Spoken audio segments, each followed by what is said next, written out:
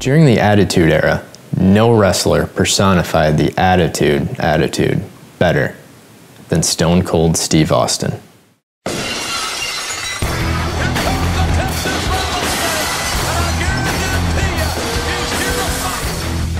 gonna find out firsthand you don't mess with Stone Cold Steve Austin. One of the most popular wrestlers of all time, Steve Austin transformed himself from yet another stunning ringmaster into a stone cold champion in just under a decade. The rocket fuel behind the Texas Rattlesnakes' trajectory to stardom? The Stone Cold Stunner.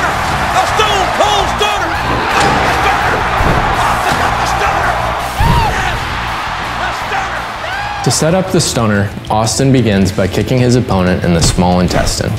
The small intestine is responsible for two things absorbing nutrients and breaking down food.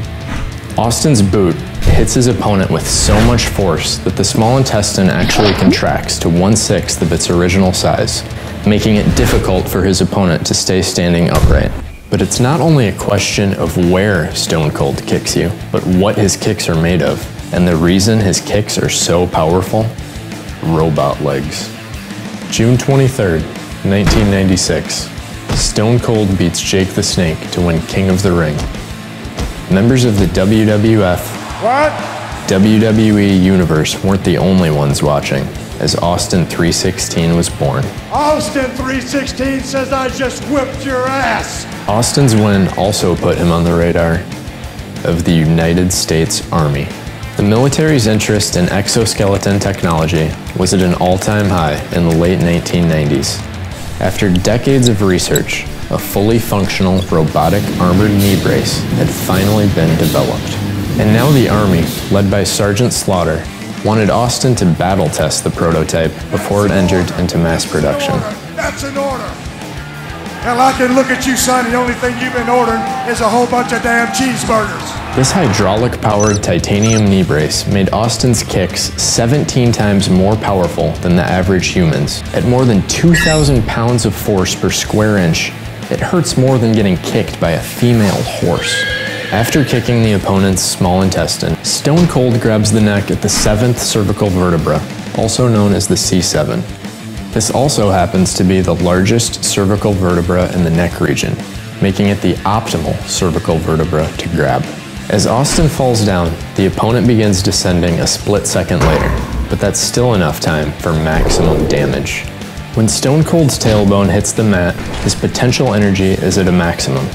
Thanks to his 6 foot 2 frame, Austin begins converting potential energy into kinetic energy immediately after recoil, which is bad news for his opponent. When the opponent's jaw meets Stone Cold's shoulder, it gets pushed against the skull with 2,048.6 joules of energy, or 300,000 volts of electric shock, the equivalent of being hit with six stun guns. Even though the brain runs on microscopic electrochemical reactions, it cannot handle this much voltage in the skull at once. Therefore, it disperses the electric charge through the body. The end result? Uncontrollable muscular convulsions. We asked a certified electrician to explain just how deadly a stun gun can be. Well, when you get electrocuted, every organ gets affected.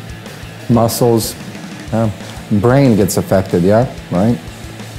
The brain and the heart goes into shock and, uh, uh, and follows by the muscles. Uh, the body cells actually die off and they'll never come back.